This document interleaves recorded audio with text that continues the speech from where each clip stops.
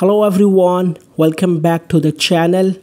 Today in this video i'm gonna show you how to fix telegram not sending confirmation code on iphone and ipad. Let's get started without wasting any time. So guys before starting the video first of all make sure that the number you entered is correct because sometimes the code doesn't come because the number is wrong Second, make sure your iPhone is connected to the internet and your internet is good and stable because the code doesn't come even if you have a weak internet. So check your internet once.